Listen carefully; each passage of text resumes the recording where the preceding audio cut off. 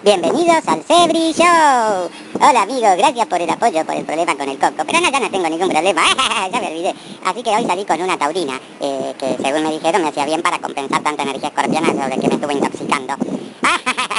y bueno, y eh, con ella fuimos a meditar.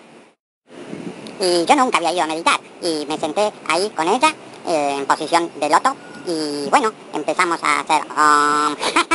yo me reía. Eh, me querían echar de la clase. Pero bueno, después entendí cómo era el ejercicio y me quedé un poquitito sentada. Eh, pero yo no, no entiendo.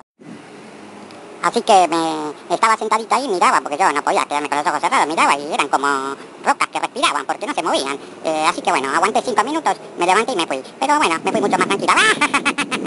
no entiendo estos taurinos, cómo aguantan tanto tiempo sin moverse. no hacen nada todo el día.